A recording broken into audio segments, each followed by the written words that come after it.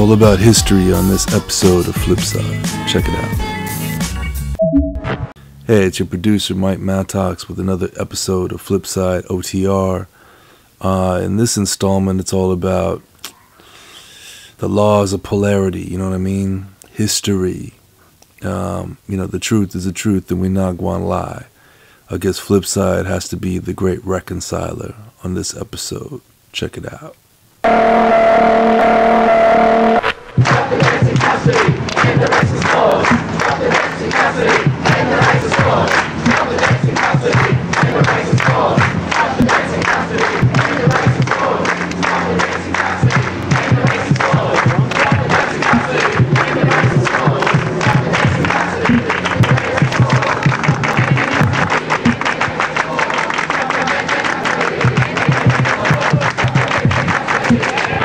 what's your name? Uh, Richard Frankland.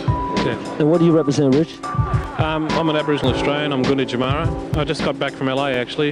I'm a filmmaker and won an award in the Hollywood Black Film Festival over there. Um, I used to investigate deaths in custody. Um, that's what I do is I sort of fight. I mean, we have this country promotes itself as such a righteous, proud nation, but there's a lot of dark sides to it. You know, like mandatory slaughter. I mean, we're living in the dark ages. Yeah, that's right. Um, basically, Australia's got. Um, we live in a nursery version of history. You know, um, we teach in our schools that our explorers are wonderful people, people like Cook and Mitchell, and the fact is that um, they're documented rapists and murderers, and um, so we hide the actual truth. When I was born, I wasn't a citizen because it said so in the Constitution. One in six Aboriginal children were taken, my sister among them, and many of my cousins. And they were taken to places where they could speak for 10 minutes in the morning and 10 minutes in the afternoon. I mean, this isn't.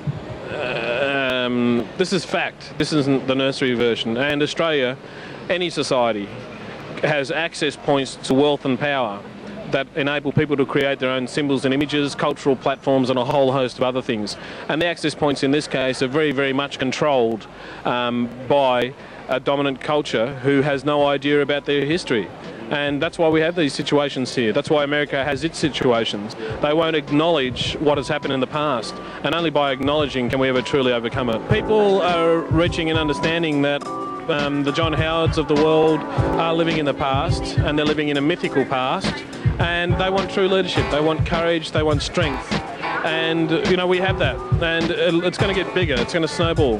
There'll come a day when the black man in Australia will walk down the street and be regarded with a great, as in great pride, because they have and are part of the oldest living culture in the world. And when, once we start throwing that forward as a thing of pride as opposed to a thing of shame, we will go better places. And I will be there on that day, my brother. Peace and enough respect. Yeah. Thanks, guys.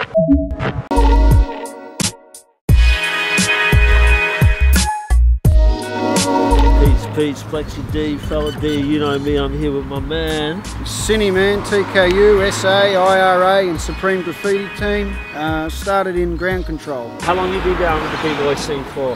I reckon probably started b-boying around 82. Wow. As a b-boy, and well, you know, I was in Camberwell. Most people think it's a snobby area, but you know, back then there was a lot of you know Oh, bogan, Bondi and all that, man. Bondi and that. Yeah, Yeah, yeah. You, old got, friends, and, you know, we're all a lot of old b-boy breakers, at Money and bogans. da- daddy.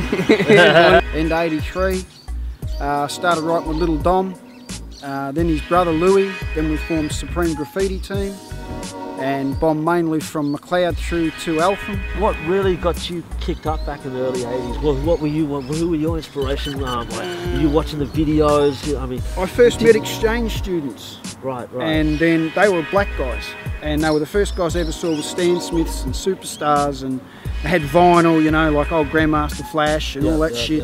yeah. 80, 81. Right, and they were the first guys I ever saw doing like robot, moonwalk, all that bullshit. yeah, yeah. And from that was what got me into it. Okay, here we are at the piece here in uh, Mount Waverley.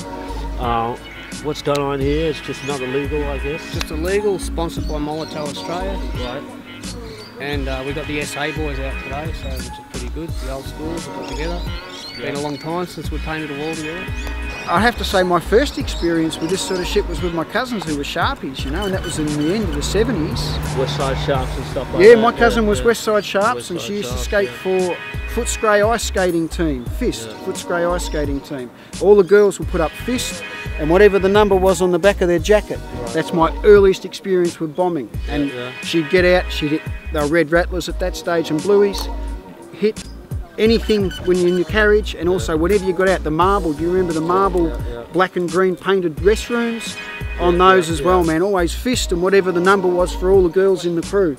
Footscray Ice Skating Team, the first bombers I remember as a serial bombing crew were girls. Wow, that's amazing. That, Yeah. that, that's history right there. I couldn't get it out. Like, you know, I disappeared since, you know, I, I kept going until about 93, Yeah, yeah, stopped.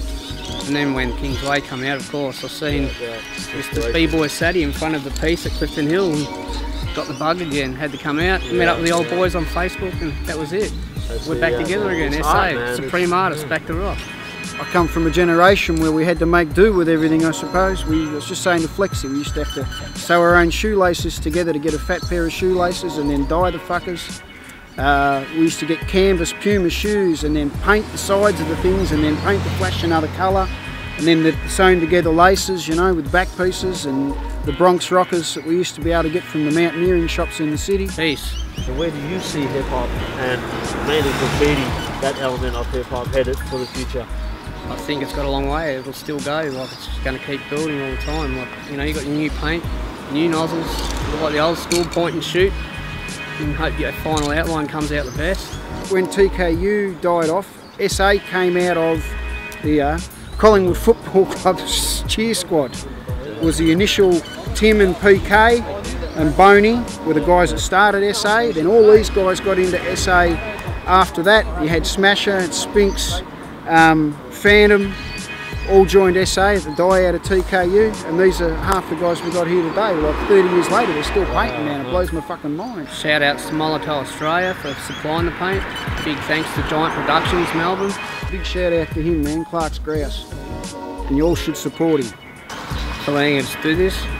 It's been a long time coming since we actually got sponsored. It's really good. I'm grateful. So are the other boys.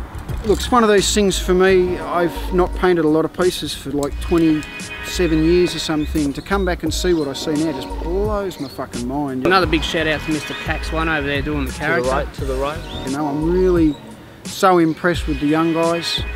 I'm so impressed with what they can do. You know, they've they've evolved it to a point now where it's proper art, and you know, like I say, look, I, I couldn't contemplate the shit they do. I, I know it. You know, I just look at it in, in awe. It's part of that hieroglyphic movement, man. It's Yeah, just the yeah. pyramids, you know, it's Yeah. still there. You know? It's still there Something and it's going get out of stronger it. today. I don't think it'll ever stop. I hope it never does. You know, it's one of the last true freedoms of expression as far as any of this stuff goes. And as yeah. Big Brother comes in and figures out who's who and what's what, we're going to end up with the last few guys that are still running as rebels, but they're going to be the guys that aren't hooked up in this manner, man. Yeah, you know, it's because this is what's bringing them down. Yeah, yeah, yeah. Technology. Yeah. That's right, you back know? to its roots, man. It's getting back to its roots. No, no, like- no, no. Tibet about trains. Oh, trains, all right. Uh, Bombing the train line. Yes, Never did yes, enough of yes, that. Yes. My name's Sadie. You're watching Flipside. Hope to catch you on the other side.